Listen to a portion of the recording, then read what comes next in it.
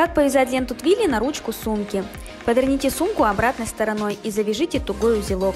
Хвостик ленты не должен быть слишком длинным, иначе он будет мешаться. Далее постепенно наматывайте ленту на ручку так, чтобы не оставалось пробелов.